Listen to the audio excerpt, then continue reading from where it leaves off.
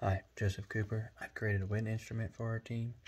It is a PVC pan flute made out of 3 quarter inch PVC pipe and I use some adhesive and duct tape to hold it together. Keeps it pretty sturdy.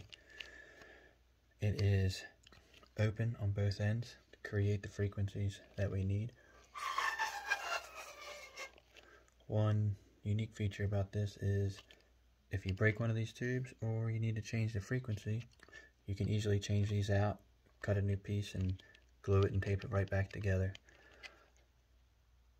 The overall cost of this was around $2.80 plus or minus a little bit. Um, it stays fairly cheap.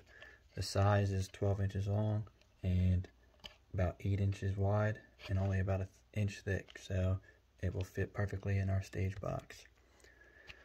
Some physics about this the smaller the tube, the higher the frequency. The longer the tube, the lower the frequency. And it goes accordingly. If you need to add a higher frequency, you can add a smaller tube. Makes it nice and simple. Some changes I made to this were the lengths of the pipe were too long before, so I shortened them up. They're about an inch different, give or take, depending on the saw. Challenge I had was being able to play the flute, but sanding the tops of these to give you a more smoother feel when you're blowing helped create an easier flow.